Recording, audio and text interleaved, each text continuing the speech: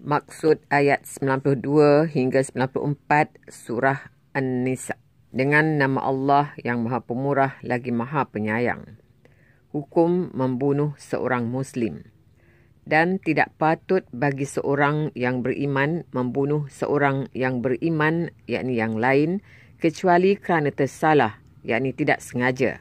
Barang siapa membunuh seorang yang beriman kerana tersalah yakni hendaklah dia memerdekakan seorang hamba sahaya yang beriman serta yakni membayar tebusan yang diserahkan kepada keluarganya yakni si terbunuh itu. Kecuali jika mereka yakni keluarga terbunuh bersedekah.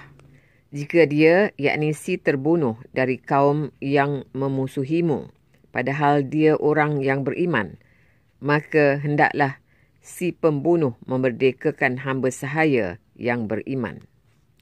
Dan jika dia, yakni si terbunuh daripada kaum kafir yang ada perjanjian, yakni damai antara mereka dengan kamu, maka yakni hendaklah si pembunuh membayar tebusan yang diserahkan kepada keluarganya, yakni si terbunuh, serta memerdekakan hamba sahaya yang beriman.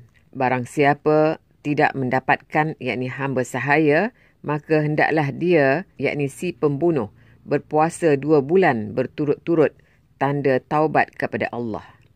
Dan sesungguhnya Allah maha mengetahui lagi maha bijaksana.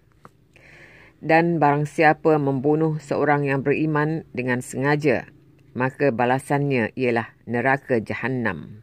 Dia kekal di dalamnya. Allah murka kepadanya dan melaknatnya serta menyediakan azab yang besar baginya. Teliti dalam bertindak.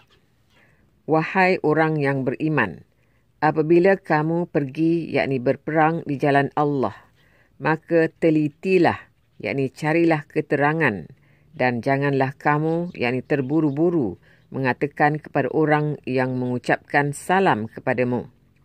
Kamu bukan seorang yang beriman, yakni lalu kamu membunuhnya dengan maksud mencari harta benda kehidupan dunia. Padahal di sisi Allah ada harta yang banyak. Begitu jugalah keadaan kamu. Lalu Allah memberikan nikmatnya kepadamu.